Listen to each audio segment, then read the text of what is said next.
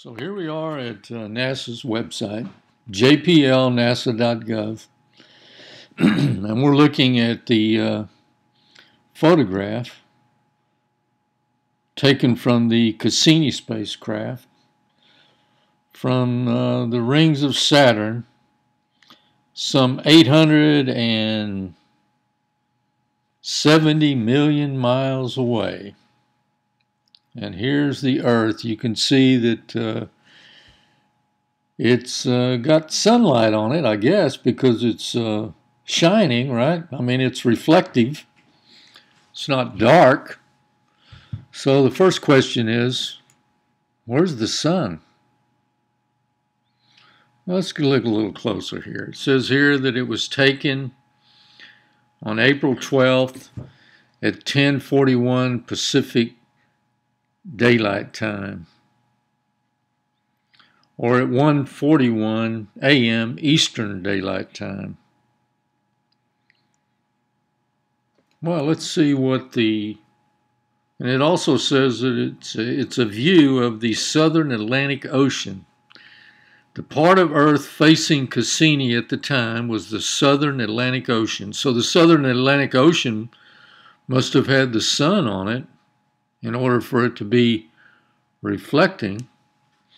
So let's see what uh, what the time and date is uh, for the sunlight on that day at that time. So let's go to uh, time and date. Well, here we are.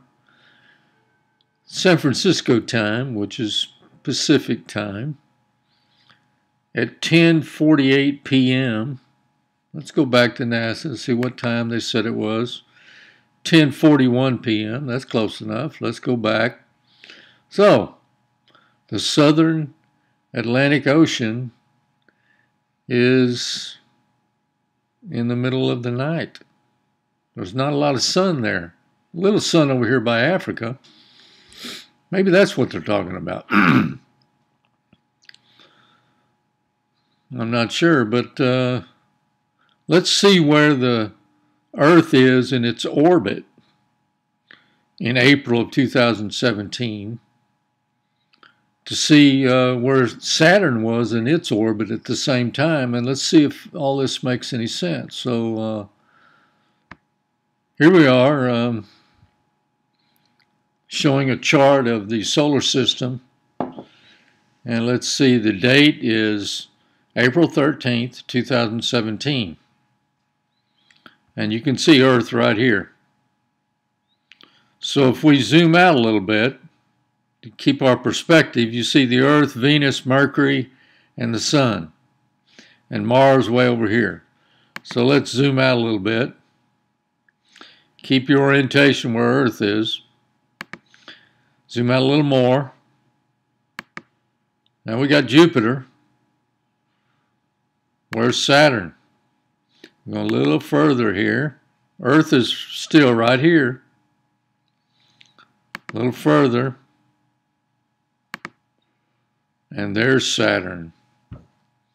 Now, according to this view, if the Cassini spacecraft was taking a photograph of Earth, the Sun is on the opposite side of the Earth compared to where Saturn is.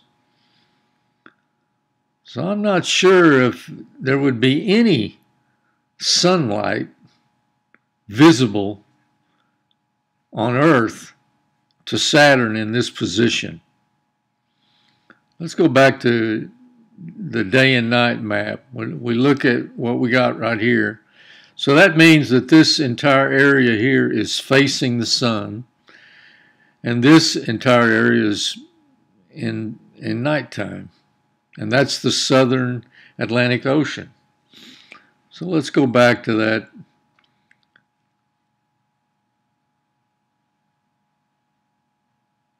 I'm sorry, there's a big problem here. First off, you know, based on the distance from Saturn to Earth, which is 840 million miles or something like that, 870, whatever it was. Let's see, NASA. 870 million miles. it seems like the sun would be visible in that picture. And, and based on the sun shining, you know, based on uh, day and night right here, the location of the Earth's orbit and the location of the uh, the daily rotation. Uh, I think there's a real problem with this. First, we would have to see the sun, and second, based on uh, day and night, uh, this is not in daylight here. Now, when they talk about the southern Atlantic Ocean, is what we see there. Now, here they say this is the moon. But it sure looks dark.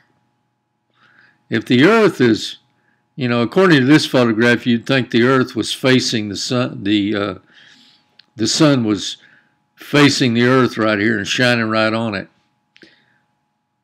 But in reality,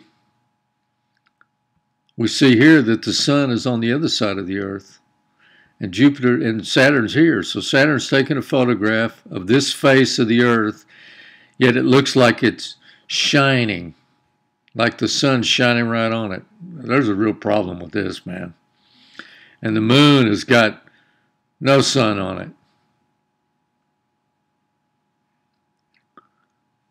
I think NASA's got some splaining to do.